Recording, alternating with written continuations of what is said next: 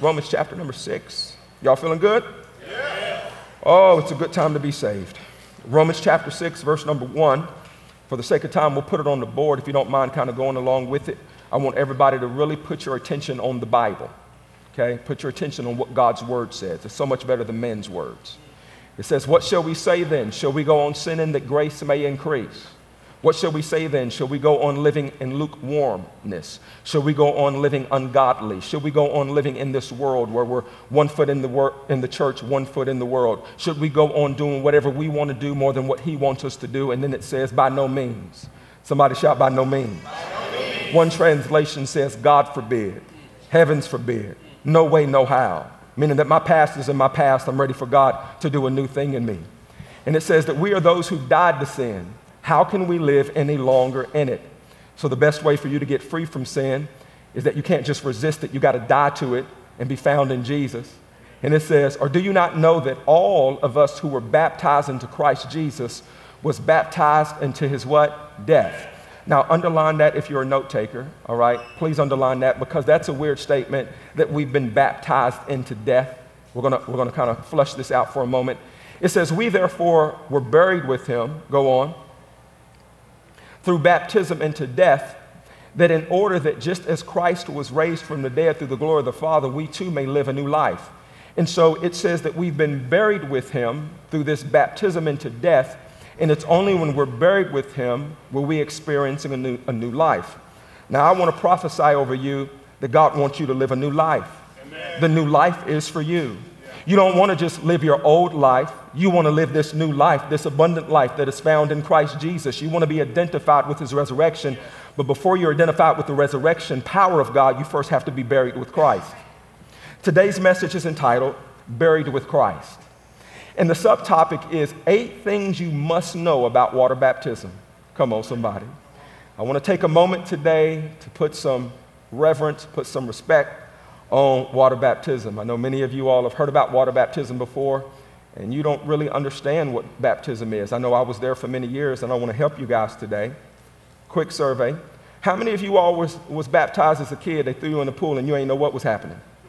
Anybody here? All of y'all. All of y'all went to the same church where they just, you were just, you were in the water and you were just smiling like, oh, you know. And then afterwards, you know, people celebrated you and you was like, but you really didn't know what. How many of you all went to the church where they sprinkled you? Let me see about your hands. You sprinkled, you got sprinkled. Praise God for you. How many of you all didn't grow up in church at all? Or maybe you went to church for a while, but you, you still don't know what water baptism is, right? You don't really understand it. I mean, you might think that it's a good thing, it's something that other people do, but you don't really know that it's for you. And my name is Ken, and I'm your friend, and I want to help you on today. I got baptized when I was 11 years old. Um, I grew up in a, a, church called New Hope Baptist Church, okay? And uh, we placed a great emphasis on baptism. I mean, it's in the name, New Hope Baptist Church. So we, of course, in the Baptist denomination, we love to baptize people, and we place a great emphasis on it.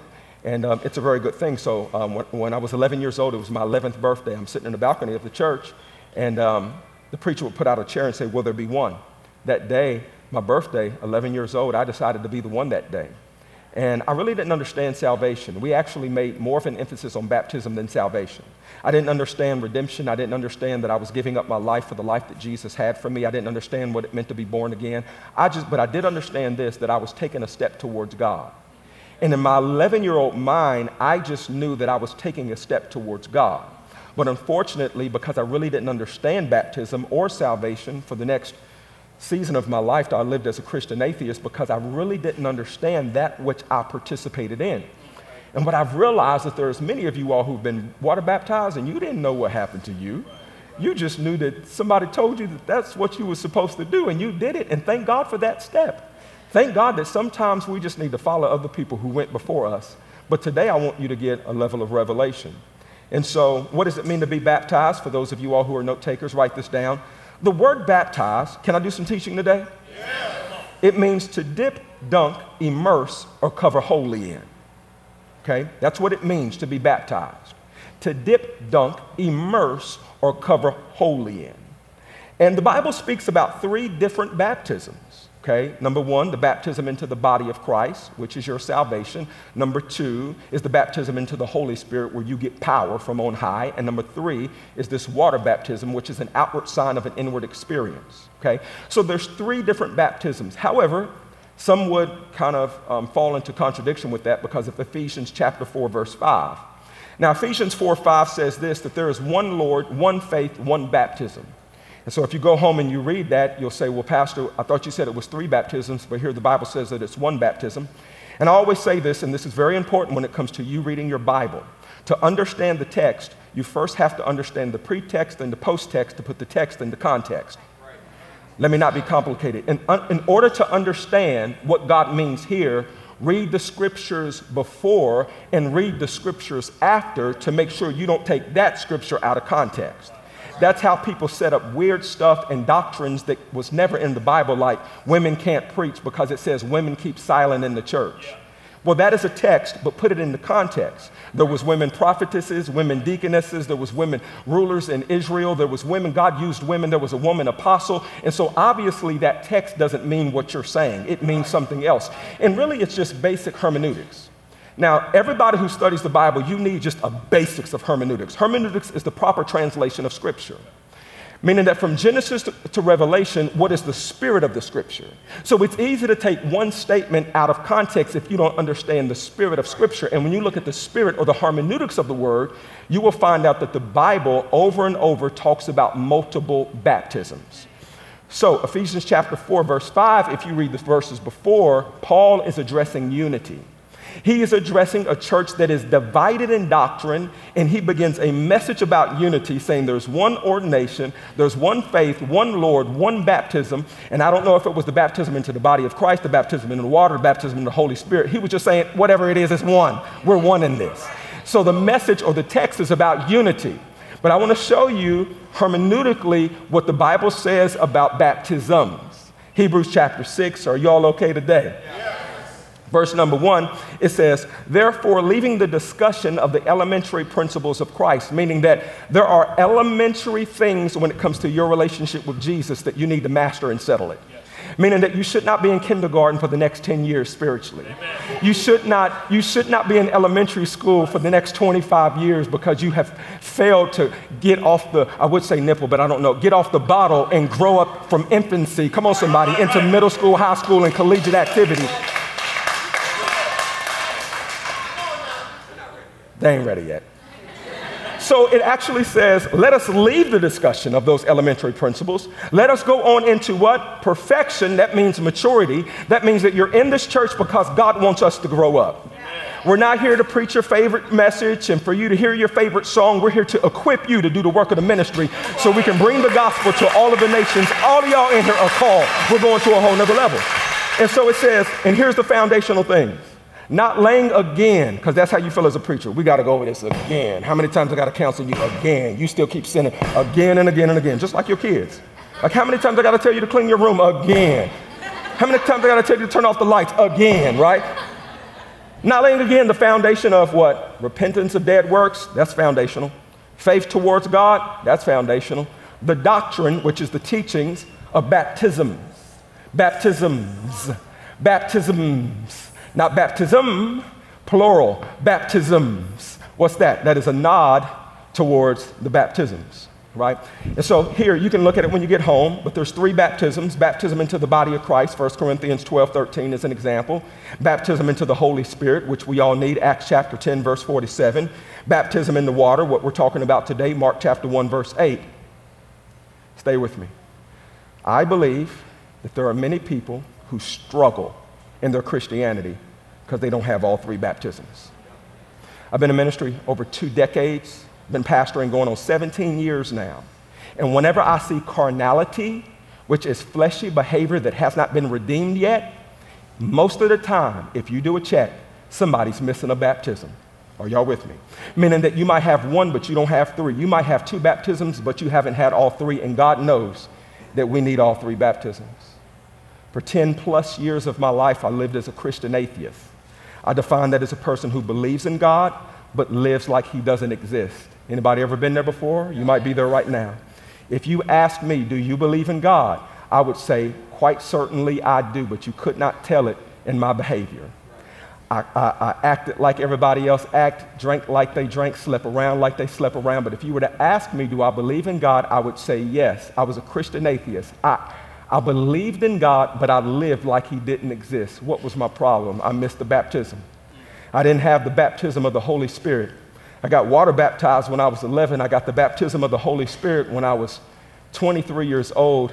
And from that point, that's when all of the, the garbage began to fall out of my life because many of you all, you got a gun, but you ain't got no bullets in it. You need the power of the Holy Spirit. We need all three baptisms. Let me move on. Are y'all with me? And so, what does the Bible say about baptism? Matthew 3:16. Let's just do a Bible workout. If you're ready, say I'm, work- I'm ready. ready. All right, Matthew chapter 3. Let's go. As soon as Jesus was what? Baptized. Jesus was what? Baptized. Oh Lord, he went out of the water, and at that moment, heaven was what? Open, and he saw the Spirit of God descending like a dove and alighting on him. That means the Spirit of God fell on Jesus after his water baptism. Now, as a side note, I think it's interesting that right after Jesus' water baptism, he received the baptism of the Holy Spirit at the same time. And you will see this going through scriptures as we go through them. You'll see these two things being very close together. Not something that you got to wait six months or 12 months or for some people and not for others. No, this is something that goes very close together. Now, what I really want you to get out of Matthew chapter 3, verse 16 is that Jesus was baptized. Now, how many of you all here love Jesus? Let me see by show of hands if you love the Lord. How many of you all feel like he is our example setter? Like what he do, we do. Now, I know some of you all, you have WWJD bracelets on and bumper stickers, but you don't do what Jesus would do. If Jesus was baptized, you need to be baptized too. No, really. Some people are like, I don't know about that. You know, I just did my hair. We don't care about your hair. God gave you your hair. He can also take it away. We are baptized because Jesus was baptized. And then he commands us to follow his lead. So even if you don't understand it, I'm going to do what the man told me to do because obedience is better than sacrifice. Let's go over to Acts chapter 2. Acts chapter 2. Watch this one here. Acts chapter 2, Peter replied, Repent and be baptized. Every one of you, not just a few of you, but everybody who's here, no matter your age your background, how much money you make, everybody, in the name of Jesus for the forgiveness of sins, and you will receive what? The gift of the, once again, water baptism and the baptism of the Holy Spirit. In the New Testament early church were two things that went together. There's a reason they went together, right? But I love this part because this is not a suggestion. This is not like get baptized if you understand it, or get baptized if you want to, or get baptized. Know, because a lot of people say, well, I would get baptized, but my grandmama's not here and I want her to see me. What your grandmama got to do with you obeying God? They say, well, I would get baptized, but you know, right now, you, you know, you make up so many excuses, but the command is repent and be baptized. Yeah. Repent. Repent and be baptized. There's no, like every one of you, like everybody who, who calls on the name of Jesus, doesn't matter your age, doesn't matter your education, doesn't matter your race or your ethnicity, doesn't matter what you did last night. He says, repent and be baptized, all of you all. Do like this and say, This is for me. Acts, um, go to the next one, Acts chapter uh, number two. I think we're there, verse 41. Let's go to that one. It says, And those who accepted his message were baptized. There was about 3,000 of them. They were added to the number in a day. Woo!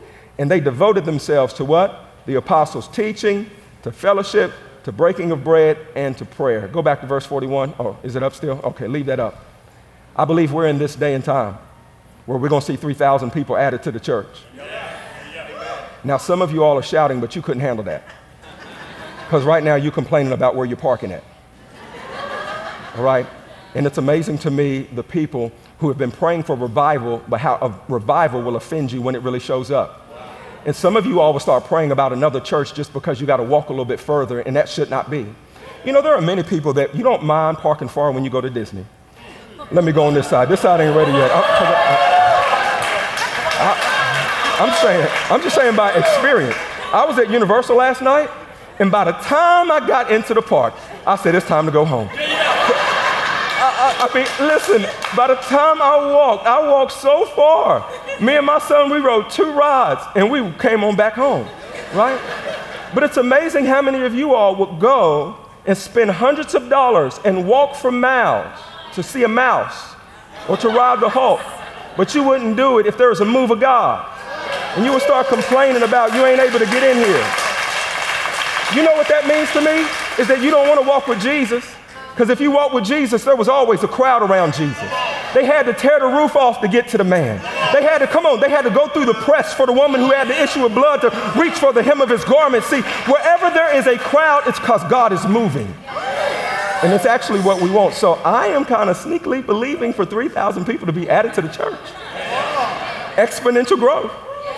That means that we need seven services, 10 campuses. I'm talking about exponential growth. Can you imagine that baptism line? If you was number 3,000, some of y'all would have missed it. You wouldn't be baptized. You, because you would miss the football game. 2,999. I got 2,000, 2,998. Oh, 2,997. I'm going to get baptized today. It's important to me, right? But I love this because what I see in the book of Acts is how the modern church should be. We cannot reduplicate culturally everything from the book of Acts, but we have to pull principles, and we need the spirit of the early church. The spirit of the early church wasn't just here to be comfortable and convenient, to teach me a good message, Mr. Pastor. They wanted signs and miracles and wonders, and actually, the shadow of Peter would fall on the sick and people would be healed because they carried a collective presence of God. If God did it before, I need you to know that He wants to do it now. And He wants to do it with us. If you understand about our church, we're creating an atmosphere where heaven can kiss earth. One of the things that we're trying to create here is just where there's not visitation, but there's habitation. I prayed this morning God, as people get out of their car over at Cons, let them be healed because they're on their way to the glory house. Am I by myself? I don't know about y'all up there, but for this house, we're going to serve the Lord. I want the kabod of God, the glory of the Lord in the place. 3,000 was added, but watch what it says in verse number 42, if you don't mind, because this is what we need. It says, and they devoted themselves to the apostles' teaching, the fellowship. So every exponential growth, if you really want to see revival, you need five ingredients. Number one, you need baptism because it all started from baptism. Baptism is the foundational teaching, baptism is where everything else starts from. And so you have baptism, put up my five very quickly. These are the five things the steward and move of God. You need baptism, everybody say baptism. You need to be devoted to Pastor Ken, I mean the apostles' teaching. No, for real though. Some of you, like really, some of you all, you judge what we say by somebody you don't know that has no fruit on Facebook. What in the world is wrong with us? We need to be devoted to spiritual leaders who's been preaching for decades and have a good marriage and they have fruit in their life. Come on. Eh, we all need mentorship. We need somebody that will speak into our life. We can't get rid of that. I know you got I know you saved and you don't need anybody to be saved and the Holy Ghost can help you, but you need you need mentorship. We need disciples that make disciples, disciples that are being made and also making disciples. So you need devotion to the apostles' teaching. Fellowship, God knows that's why we have small groups because you're not supposed to do your Christianity by yourself. You need other relationships. We need communion. Now we do communion and every Wednesday. Glory to God. And every midweek, we break bread together. What does communion do? It puts us in remembrance of the price that was paid for us on the cross because many times we forget. And number five, we need prayer. And that's why we pray for you every Sunday. That's why we have a prayer team on Wednesdays and midweek, and we pray for the healing, for, for people to be healed and all these things because these are the five things that sustain a move of God. Now I got to move on because y'all, y'all not ready. Acts 16, verse 31. And they replied, Believe in the Lord Jesus, and you'll be saved. It's not hard to be saved, right? I just led a friend of mine to Jesus. We went to college together, and he called me this, this. He's like, I'm in a season of my life. He says, I don't know anybody in this world that I can call other than you.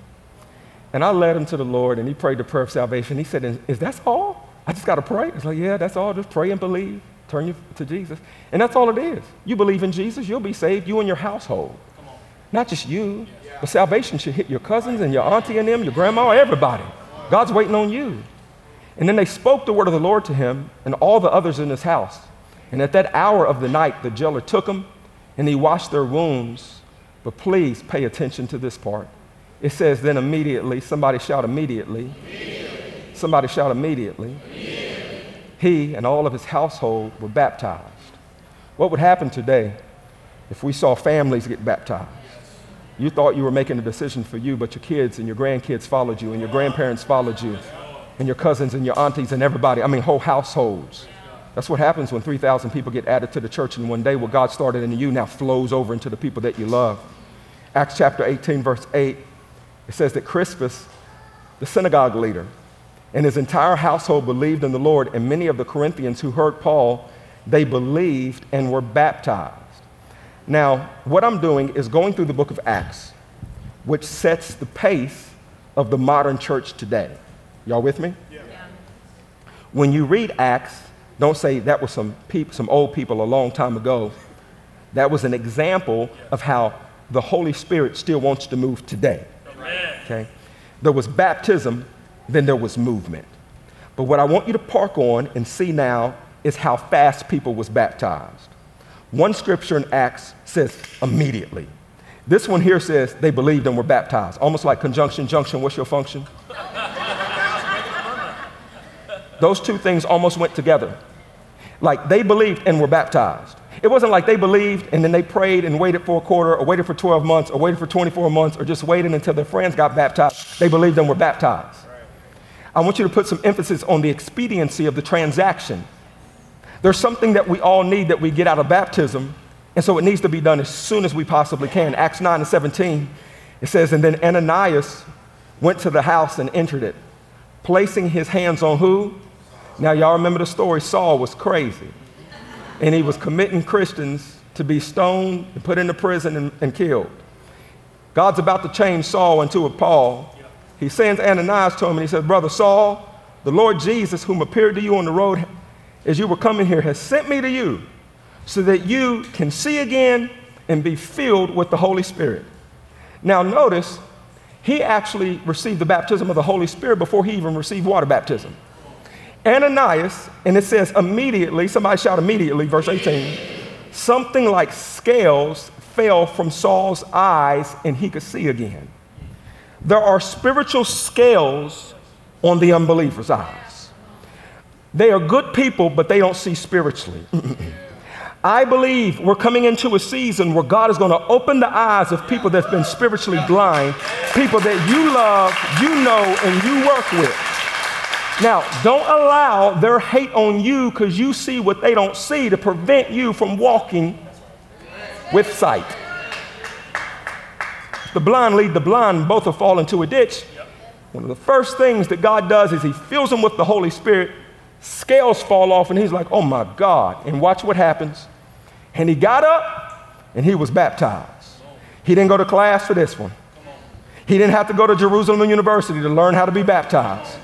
The man, come on, somebody, was treacherous one day, blind that day, received the Holy Ghost, got up, and was baptized.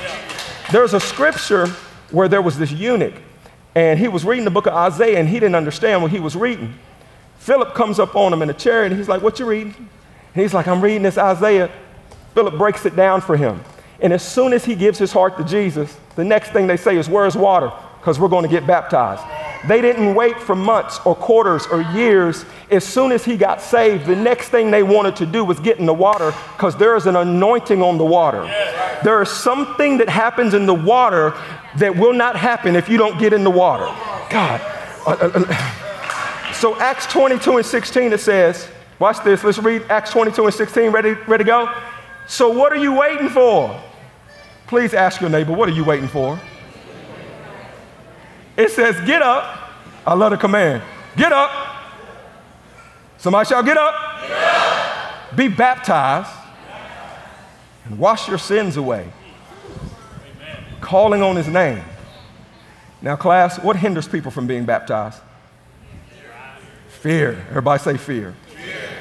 And do you know that fear is so relevant or so saturated in our current culture that fear can be baked into your personality and you think it's just you and it's actually the spirit of fear? There's so many people that are walking by fear today, and they say, Well, that's just me. That's just my personality. No, it ain't. It's a spirit of fear that's been baked into your personality, and now you have settled into walking by fear. But as a believer, you've been called to walk by faith and not by sight, for the just shall live by faith. And anything that's not done in faith is sin. It's not fear. God has not given you the spirit of fear, but of power, love, and of sound mind. And they say things like, you know what, you know, I'm just not dating right now, I'm working on myself. Maybe. Maybe that's true. Or maybe you're just scared to let anybody in. Maybe you're just scared to be hurt again. Maybe, maybe, maybe it's this. I'm not here to tell you what it is, but I'm saying don't walk by fear when you've been called to walk by faith. People say, well, I'm not tithing, I'm not giving it right now. God knows my heart. Really? Maybe. Or maybe you're just stingy. Maybe you trust more in your ability in driving an Uber in the evening than you do giving God the first and the best so he can bless the rest. Just maybe you walking by fear instead of walking by faith. Uh, my name is Ken and I'm your friend. Some of you all got a call of God on your life. And I'm looking straight in the white of your eyes. Who are you? Go ahead and ask your neighbor, is he talking to you? Go ahead and answer them. Answer them. Says, yes, he is talking to me. I got a call of God on my life. And some of y'all been running from the call. You just been running from the call like you can outrun the hand of God. You say, well, you know, I'm just busy right now. I don't know if I can do ALI. I don't know if I can do all that. And maybe, or maybe you're just scared to give your life up to Jesus because you think that your way is better than his way. Maybe it's just fear. When it comes to water baptism, there are so many people, you have a fear of the water. Some of y'all afraid, you know I'm talking to you. You're afraid of the water. And actually, God is asking you to be water baptized to help you get over that fear. Just like you don't have a, a, fear of taking a shower, you should not have a fear of getting water baptized. Now, if you got a fear of taking a shower, come, come down to the altar and we're going to cast that demon out of you in the name of Jesus. Some people have a fear. You got a fear. You got to get over that fear. What is another reason? What about pride? Everybody say pride. pride. Why don't people get baptized? Pride. Because you got to humble yourself to get wet in front of everybody. Hey. Woo! And it's amazing that before God exalts you, He first asks you to humble yourself. And some of you all are so prideful because it's in our culture. You're not a bad person, but you just got your master's degree and you got your PhD and you make six figures. You got a social media following and you think you all that. I love you, you know. But the truth is, if you don't humble yourself, you're going to be humbled. And I love it, Jesus, he's the Christos, Emmanuel, the Christ, the Son of the living God, the King of glory. Everything that is made was made by him, but still he was baptized. Matter of fact, John the Baptist came to Jesus and was like, Listen, I can't baptize you. I need you to baptize me. And Jesus said, No, we got to do this to fulfill all things. What is Jesus saying? I got to humble myself before I'm exalted. And you think that you don't have to humble yourself? I'm telling you now that on the other side of humility is always promotion. And for some of us who are here, we've been too proud, and God wants you to leave that pride in the water. Amen. For other people, what hinders them from being baptized? Am I preaching to anybody today? Y'all look scared in the service. I ain't scared of you though. They just not all in yet. They just not. And I believe this is the biggest reason why people don't get baptized is because it ain't that serious to you yet. You, you, you, you're kind of, you, you like the fact that at the end of service we say every head bowed and every eye closed. And you like to pray a prayer that costs you nothing. Oh, yeah, Jesus, come into my heart. And you're right. That's where it starts. That's not where it stops because after you say, Jesus, come into my heart, God is saying, find the pool and let everybody know you love me. Because some of us, we pray prayers without any fruit, without any sacrifice, without any obedience. And it's not that God doesn't believe you, He just wants you to put some action with what you pray. So, as soon as you get saved, the next thing you should do is be in the baptism waters. And I'm telling you, there's an anointing there's an anointing on the water. And so, why is baptism so important in the Bible? Here's the reason because it symbolizes you leaving your old life behind and being identified with the resurrection of Jesus. Why is baptism so important? It symbolically tells all of hell and heaven that you are done with the old you, you're going into the new life in Christ Jesus. Why is baptism important? Because there's an anointing on the waters. Just take my word for this, y'all. I, I want to show you this diagram. Check this out. Pull up my diagram if you can. All three screens. Top one is Jesus. Everybody say Jesus. Jesus. So he was born in Bethlehem, raised up in Nazareth. He was the perfect Lamb of God because Jesus knew absolutely no sin. So he was the perfect Lamb to put all of our sin on his body. So we have Jesus. He dies a sinner's death, okay? He is buried in the grave for three days and three nights, all right? Pays the price for our sin, but hell could not hold him because he was held there illegally because he had never sinned. On the third day, he was resurrected with all power in his hand into newness of life. That's Jesus. So the second one is us. Everybody say that's me. That's, me. that's you doing whatever you want to do, living how you, however you want to live, and then you come in contact with the cross. And when you say, Jesus, come into my heart, you are supposed to die to yourself, your old ways, mindsets, and habits. And then you are to be buried with Christ. I know that sounds weird, but it's symbolism. That means that there is something in the water that you're supposed to leave in the water. You're supposed to leave addictions in the water, depression in the water, confusion in the water. Come on, somebody. You're supposed to leave doubt, worry, and fear in the water. You're supposed to leave sickness in the water. There's an anointing on the water. Now, I love the Bible. I'm a Bible nerd. Whenever you look at water, it has a washing component spiritually, but also in Genesis, the Spirit of the Lord hovered on the waters. I believe on the baptism waters, the Holy Spirit hovers on the waters, and He helps you when you come up out of the water live a life fully for Jesus. Many people are struggling because they miss the baptisms. They don't understand. They think it's just getting wet or getting sprinkled. No, you're buried with Christ. I'm done with me. And then when I come up the same way that I'm identified with his burial, now in the spirit, you are now identified with the resurrecting power of Jesus. Listen, and the same power that rose him from the dead now lives on the inside of you. Now overcome every spirit of depression and setback and, and whatever's been holding you back because greater is he that's in you than he that is in this world. Are y'all with me today? Now, um, I, I, wanted to hear Chelsea. Chelsea, can you jump up real quick? Give her a mic. Um, she has a, a, baptism story that I would love for you guys to hear. Can you give it up for Chelsea as she comes? Hi. How's it going? Can you share with whatever? Yes. So for let those. Me, let me turn your mic on. All right, it's on. Hello. Can you hear me? Let me see. Mic number one. Praise God. Hello. Hello. All right. Hey. Hey. So, um, my story is I was a flight attendant living in Dallas, Texas, and in May of 2021, I got what I thought was a really bad ear infection. So, going to three doctors, I was diagnosed with something called sudden deafness. Um, so, I actually had lost 80% of my hearing in my right ear for no reason um, and was considered legally deaf being a flight attendant, I couldn't work anymore. I decided to quit my job um, and move here to be closer to family and kind of figure out what next steps would be.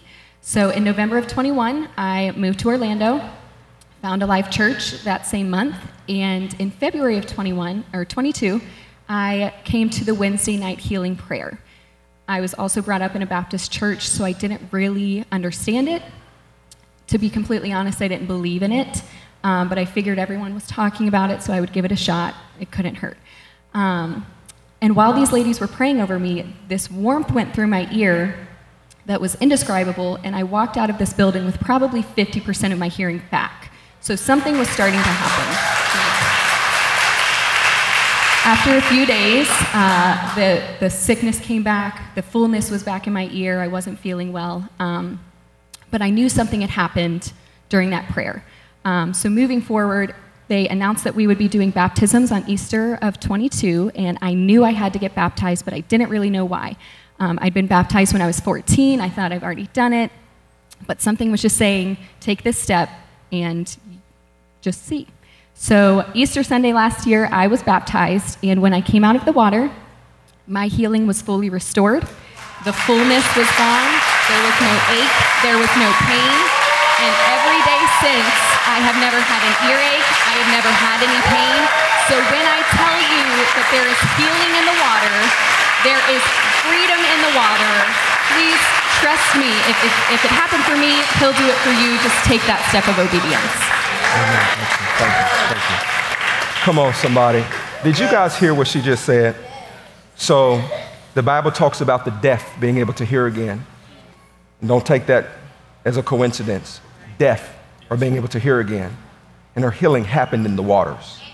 As she came out of the water, God confirmed his word in her life. And now she has 100% hearing again in both ears. To God be the glory. Come on, somebody, give God praise.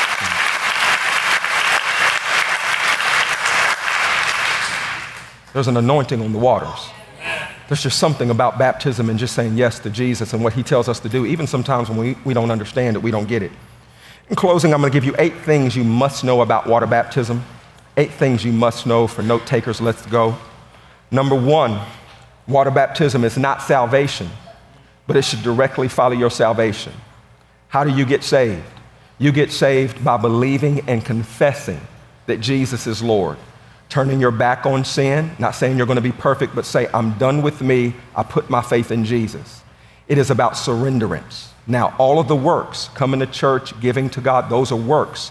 You can't do the works to get saved, but after you get saved, you should do the works. One of the works, the first work, is to get water baptized. Number two, water baptism is not a sprinkling, but it is an immersion. It is in the name, all right? The definition of baptism means to dip, dunk, cover, immerse, cover wholly in. Number three, water baptism is not for infants, babies, or kids that do not have repentant faith, okay? So don't push your kids into water baptism talk to them about water baptism until they understand that they are saved because of the grace of God. And after they understand that, then make sure they understand water baptism is an outward sign of that inward transaction. Number four, water baptism is for spiritual identification. You want to be identified with the new life in Christ Jesus. But before you're identified with the new life, you need to be identified with the baptism burial waters.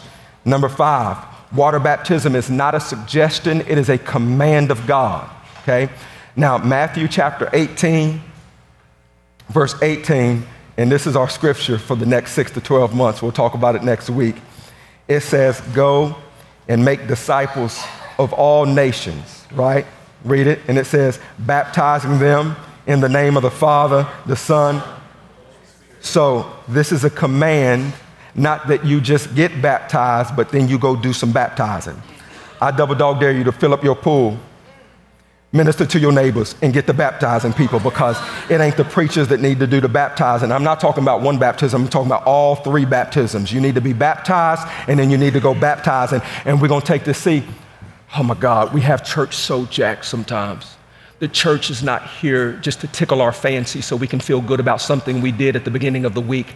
We are here to equip the saints as the army of the Lord so we can go to the nations. The nations. I'm talking about the nations. You see wars and rumors of wars, they need Jesus. We are to go to the nations. You are anointed for the nations. And we're going to get you ready, okay? We're going to get you ready. So, number six, water baptism is a public declaration of your faith. Some of you all are closet Christians. It's time for you to come out of the closet. So, your Christianity is not supposed to be just between you and the Lord. It's just a private thing. It starts privately with the prayer, but it should get public right away. And so, what the baptism pool is, is an opportunity for you to let everybody know that you're in love with God and you don't care who knows it. Number seven, number seven, water baptism is an initial first step towards spiritual maturity and holiness. I believe after 20 years of ministry, the reason that many people are carnal, the reason that many people are having a hard time maturing spiritually is they miss a baptism. We need all three baptisms, and I believe we need to shorten the distance. I'm sorry if we have it too sporadically. We just do it every quarter. Right now, I'm in prayer with my team about how can we do baptisms every Sunday. It might not be as elaborate as it is right now. Maybe it's in the back of the building, but I'm telling you, we need to shorten the distance between salvation and baptism. Not just baptism of water, baptism of the Holy Spirit. When you bring these 3,000 people that are coming to the church, when you take them through growth track, bring them to midweek. And so at midweek, what we have every Wednesday night, we pray for the sick over here at the end of every service. So we do 20, 30 minutes of Bible study, then we pray for each other, then we pray for the sick, and then we have the baptism of the Holy Spirit, where we lead people in this third baptism to receive power and also their prayer language. This ain't for a few gifted people. This is, this is artillery that every believer needs. Hmm. Number eight, water baptism is a type of covenant ceremony that we all need. Mark my words, covenant ceremony. Say it with me. Covenant ceremony. Tabatha and I, we've been married for 24 years. And I always joke and say it's been the best 22 years of my life. The first two years was absolutely horrible, but now she got herself together and things are a whole lot better, praise God. I tell that joke everywhere, I think it's hilarious. 24 years ago, in New Hope Baptist Church, July 3rd, 1999, I stood before a preacher and I made a vow to my wife she made a vow to me, and it went something like sickness or health, rich, poor, till death does us part, something like that, right? And then I took, this is my original ring. and she put it on my finger, okay? And at that moment, we were married. And I also had a sign of my marriage, okay? But when I first got married, I was 21 years old. And I was in college still, and all of my friends were single. And I remember having this on, and back in the day, 24 years ago, it was super bright. It's dull now, but back in the day, it was like, it was almost like I had a spotlight on my finger. I would go to the grocery store and I felt like people were just looking at my finger. And I was so embarrassed that I was young and I was married that I would take my ring off and I would hide it. And I would go out with all my single friends. And I was married because we had a ceremony, but I didn't want other people to know. I was married because I said I loved her, but my love wasn't big enough to go public yet. I wanted to fit in with everybody else. I didn't want people to laugh at me and question me. And so, even though I was married, I took my ring off. Some of you all do Jesus like that. You prayed a prayer of salvation and you're married to him. You have a relationship with him, but you don't want your coworkers to know. You don't want your family to know. You don't want the persecution and the hate. You don't want those things. So, what you do is that you're a Christian all by yourself, but your Christianity was never supposed to be under a bushel. It was supposed to be a light that set on a hill that cannot be hid for all of the world to see which direction to go. So, now, 24 years in the game, I want everybody to know I'm married. I got a wife. Don't DM me. Don't think I'm looking at you because I'm not. I love a woman named Tabatha Ann. Her maiden name was Fitzgerald. She took my name. Now it's Claytor. Praise God. I don't want anybody else. I'm not interested in anybody else. I'm not desiring in anybody else. I don't have a fancy for anybody else. My heart, come on, somebody. My heart is given to a woman named Tabatha. And I want the world to know now. I, I got a podcast called Doing Life with Ken and Tabatha. I thought about leaving her off and just putting doing life with Ken, but I'm going to bring her along with me so everybody in the world can know yeah. that this is my good thing. Yeah. This is my favor of the Lord. I don't want to hide it from anybody. Come on. But what about you and Jesus? Come on now. He is your good thing. Yeah. He's the one that rose from the dead, forgiving you for all of your ratchetness and how crazy you used to be. Still has a calling on your life, still has purpose for you, is even working things in the unseen arena on your behalf right now. Come on, somebody. He's filled with grace. He's filled with mercy. I'm glad somebody understands. And I want the world to know. I don't want to just pray a prayer. I want the world to know my heart belongs to Jesus. I'm in love with a Savior. He's not a dead deity. He's a risen king, and He's alive and here on today. Somebody say amen. amen. Anyway, I'm going to give you an opportunity to make Jesus the Lord of your life today if you so choose. And so, with every head bowed and every eye closed, those of you all who are online, um, thank you for tuning in. I forgot you were there, but love you. Um, every head bowed, every eye closed. You don't have to be, listen, you don't have to be perfect to be forgiven. You don't have to be a perfect person. You don't, but you do need to surrender. If you could get your life together without God, you wouldn't need God the order of events is you give your heart to Jesus, and He's going to help you with all the mess that you're facing. It's about humility. It's about turning away from what you want to do for what He wants to do. And I believe there's many people here who are ready to take that step. I would love to lead you in this five second prayer that will change your eternal address, that your name is already written in the book of life it will be blotted out if you miss this moment. It's already there because He's already chose you. He already loves you. He already has a plan for you, and all you got to do is step into it. And so, with every head bowed and every eye closed, if that's you and you say, Pastor, pray for me, I want to be right with God today, I want to be forgiven of my sins, I want to be saved. On the count of three, please lift up your hand bold and high and just wave at me, then you can put it down. All over the building, that's you, and online, please lift up your hand in one, two, three right now, bold, all over the building. Say, Pastor, pray for me.